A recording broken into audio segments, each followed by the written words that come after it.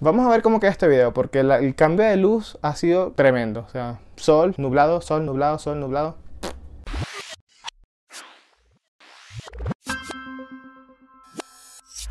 Hola, hola, bienvenidos nuevamente al canal, yo soy Frankinético y el día de hoy, como vieron en el título, vamos a estar hablando de mis series favoritas del mes de septiembre, cuáles me vi, cuáles me gustaron, cuáles dejé, etc. Pero antes de comenzar, si eres nuevo en el canal, no te pierdas todo el contenido que estoy subiendo por acá, suscribiéndote en el botoncito rojo que se encuentra abajo en la cajita de descripción o en el loguito que aparece en pantalla. También me puedes seguir por mis redes sociales en donde me vas a encontrar como arroba frankinético en todas las plataformas. Ahora sí, vamos a comenzar. Se fue septiembre y con él todos los títulos de series que me vi durante este mes. Cuáles me gustaron, cuáles no me gustaron tanto. Y vamos a comenzar con The Sinner 2. The Sinner es una serie policial en donde el protagonista se ve envuelto en un homicidio y tiene que tratar de demostrar su inocencia. La primera temporada ya se encuentra en Netflix y se trata del caso de Cora Tanetti, quien se ve involucrada en un homicidio. La están culpando de un homicidio y esta está protagonizada por la mamachonga de Jessica Biel. Este homicidio es investigado por el detective Harry Ambrose, quien trata de demostrar la inocencia de Cora Tanetti a toda costa. Y está interpretado por Bill Pullman. Esta serie fue estrenada en televisión en septiembre del año pasado, pero yo me la vi apenas en julio que fue estrenada en Netflix, o sea que pasó bastante tiempo. Pero ya se estrenó la segunda temporada en el cual el detective Harry Ambrose regresa para investigar un nuevo caso, algo que pasó. What happened exactly? It looks like they were poisoned. There's no reason Julian would do something. He's a 13-year-old boy. ¿Qué pasó aquí? Pues resulta que en un hotel, por allá por la vida, encuentran dos cadáveres y el principal sospechoso de estas muertes es nada más y nada menos que un niño de 13 años. La verdad es que esta serie tiene todo, tiene drama, tiene suspenso, tiene, tiene saltos de la silla, tiene altibajos, tiene momentos en que te aburres, pero momentos en que te dan como que el respiro para seguir a lo que viene. Por eso me encantó y te la recomiendo. Continuamos con dos series del género animado. Una es Final Space y otra es El Príncipe Dragón. Final Space es una serie que se estrenó en febrero del 2018 y fue agregada al catálogo de Netflix en septiembre. Trata la historia de Gary, un ser humano que se encuentra pagando una condena en una nave espacial. Esta nave espacial tiene inteligencia artificial y se llama Hugh. Con ellos dos se encuentra un robot que se llama Kevin que Gary no soporta para nada. Todo comienza porque Gary destruyó una flotilla entera de la patrulla élite Infinity espacial, cual es comandada por Queen. Queen es el amor platónico de Gary. Este destruyó esas naves, lo mandaron a cumplir su condena en el espacio y de repente conoce a Mooncake. Es una especie de globo verde que está siendo perseguido por un villano, el villano de la historia. Este quiere destruir todo el universo y creó un hoyo negro. No les voy a contar más porque si no, no la van a ver. Eh, esta serie es una serie animada de ciencia ficción.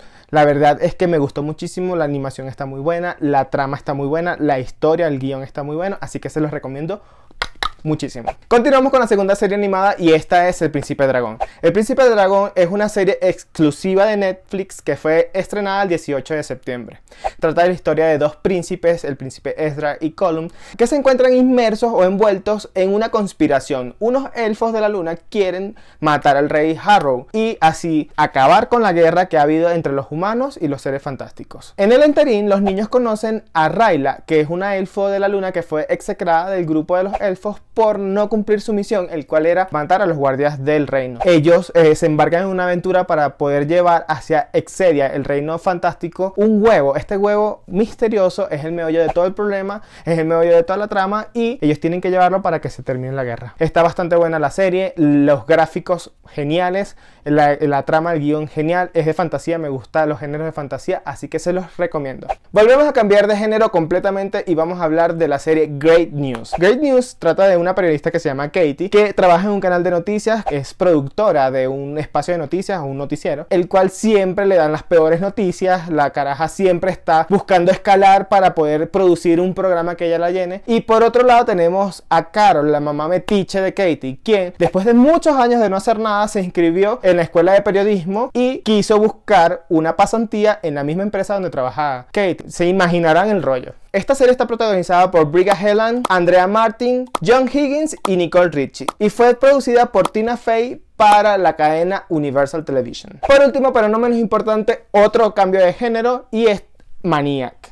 Maniac, el que no ha visto Maniac, la verdad es que no está en nada. Maniac está protagonizada por Jonah Hill y Emma Stone. Bueno, Emma Stone, super ganadora del Oscar. Y la serie trata de temas mentales. Trata de la esquizofrenia, trata de la depresión, trata de los cambios de humor, trata de las enfermedades mentales, entre otras. No les voy a comentar mucho de esta serie porque tengo un video en el cual tengo una review súper completa de la misma. Si la quieres ver, te la dejo en la cajita de descripción el enlace para que vayas y lo veas. Y Obviamente, súper recomendada esta serie. Y pues, estas son las series que me vi en el mes de septiembre, las que me gustaron. Las que no me gustaron, no vi necesidad como de meterlas dentro de la lista. Debo acotar que The Sinner 2 aún no se ha estrenado en Netflix, así que si tú la quieres ver, te puedo dar el link. Es más, te lo voy a dejar aquí abajo en la cajita de descripción, el link de la página en donde yo la he estado viendo. Por otra parte, en septiembre se estrenó La Ingobernable 2 y no quise incluirla en la lista de este video por dos razones. La primera es porque la estrenaron en septiembre y no la terminé de ver. No la terminé de ver, todavía la estoy viendo de hecho, porque yo siento que La Ingobernable es una de ese tipo de series que hay que verlas con calma,